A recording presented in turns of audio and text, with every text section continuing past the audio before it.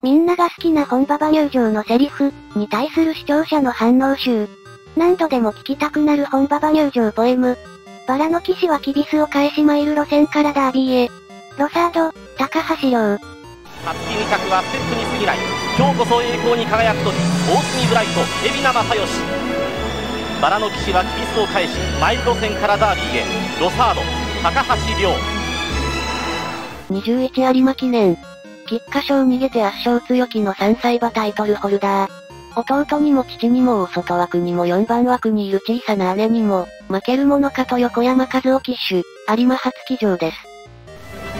そして菊花賞逃げて圧勝超強気の3歳馬タイトルホルダー弟にも父にも大外枠にも4番枠にいる小さな姉にも負けるものかと横山和夫騎手有馬初騎乗です以上が第66回有馬記念出走16頭本馬場入場です逮捕は、さつき2着の誇りを胸に、いざ父が立てなかった菊舞台。タイトルホルダーと横山武史が6年越し、親子の夢を紡ぎます。も好き？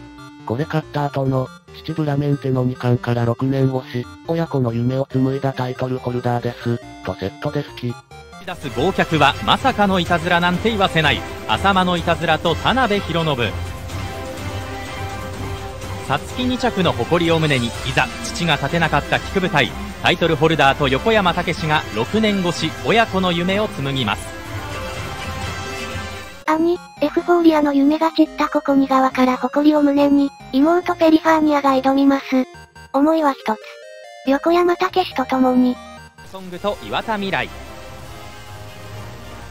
そして14番年度代表馬の兄エフフォーリアの夢が散ったここ2川から誇りを胸に妹ペリファーニアが挑みます思いは一つ横山武史と共にやっぱり愛さずにいられない。嵐を呼ぶ奇跡、ラストの勇姿を飾るため、初めの一歩に祈りを込めて、松山康平騎手です。このラストランでちゃんと初めの一歩を出すためにゲート内で自分で奇跡の尻尾持ってた松山くん好き。やっぱり挨拶にいられない嵐を呼ぶ奇跡ラストの勇姿を飾るため初めの一歩に祈りを込めて松山康平騎手ですそして評価の低い皐月賞馬、それを嘲笑うかのように同じ大外枠から逃げを打ちます。サニー・ブライアン、大西直弘。史上最年少10代のダービージョッキーへ和田隆二と KM トップガン評価の低い皐月賞馬それを嘲笑うかのように同じゴースト枠から逃げを打ちますサニー・ブライアン大西直弘22年宝塚記念。やるべきことはただ一つ、己を信じて逃げるのみ。さあ、捕まえてみろ。ドバイの G1 ウィナー、パンサラッサと吉田豊、岡安アナ。この頃にはもうキャラクターがバッチリ確立していたんだな。やるべきことはただ一つ。己を信じて逃げるのみ。さあ捕まえてみろ。ドバイの G1 ウィナーパンサラッサと吉田豊。彼女が勝つとき、そこに必ずドラマがある。主演女優ウォッカ、安城は竹豊です。これ安田記念2回目だっけ？さあウォッカ。彼女が勝つ時そこに必ずドラマがある。主演女優ウォッカ安城武豊ですダービーの、称えるべきは11年ぶり乙女の挑戦、酔いしれるは64年ぶりの夢、もポエマー塩原ならではって感じする。大外枠の万有引力。フライングアップル横山典弘。そして3番です。称えるべきは11年ぶり乙女の挑戦。酔いしれるは64年ぶりの夢。ウォッカ C 博文1番。2022日本ダービードーデュース。夢と野望は増すばかり、凱旋門を見据えた2歳王者のドーデュース。もう一度、もう一度頂点へ。竹豊の叫びがこだまします。これ本当に好きすぎる。ダノンベルーガと川田優がいざ出陣です夢と野望は増すばかり凱旋門を見据えた2歳王者のドウデュースもう一度もう一度頂点へダービー5勝武豊の叫びがこだまします最内枠、仮作沿いに逃走経路を確保せよ。踊るタップダンスシティ、佐藤鉄道。これは言えん分。過去の通算成績海外招待馬の13勝日本9勝で迎えた第23回ジャパンカップ本馬場入場です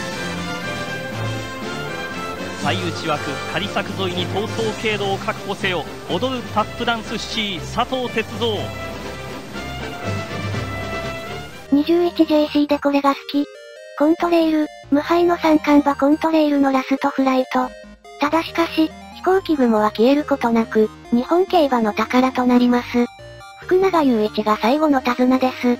アリストテレス、コントレイルに首差迫った去年の菊花賞。さあ同期の英雄へこれが最後の挑戦状。アリストテレスと横山武史。上は柴田義富。無敗の三冠馬コントレイルのラストフライト。ただしかし、飛行機雲は消えることなく、日本競馬の宝となります。福永雄一が最後の手綱です。北村博コントレイルに首差迫った去年の菊花賞さあ同期の英雄へこれが最後の挑戦状アリストテレスと横山武史さあ頼んだよ菅原明任せてください明さん富士と日経でおにゃんこぽんと漢字の掛け合いになるの好き。ミルコ・デムーロです。可愛らしい名前で話題を集めたおにゃんこぽんセレクトセール800万円の夢が進撃のスターダムへ。さあ頼んだよ。菅原明。挫折と屈辱と辛抱も勝てば全てが報われる。今のエフフォーリアを受け止めて戦う。そんな覚悟を決めた24歳横山武史と復活をかけるディフェンディングチャンピオン、エフフォーリア。この時のガヤの、頑張れエフフォーリア、がすごい好き。挫折と屈辱と辛抱も、勝てば全ては報われる。今のエフフォーリアを受け止めて戦う。そんな覚悟を決めた24歳横山武史と復活をかけるディフェンディングチャンピオンエフフォーリア今ちょうど大勢のファンの前を駆け抜けていきました。エリザベスであっと言わせた赤い糸。有馬でも実力の証明を。微笑みの鉄人三幸秀明。28年目にしてこれが有馬初騎乗です。2021年有馬記念赤い糸。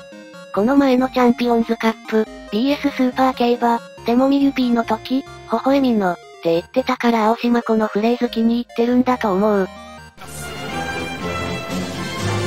エリザベスであっと言わせた赤い糸、有馬でも実力の証明を、微笑みの鉄人みゆきペア28年目にして、これが有馬初騎乗です。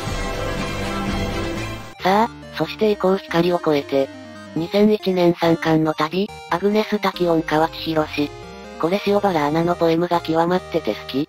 ールド村本義行さあそして以降光を超えて2001年三冠の旅アグネス・タキオン河内博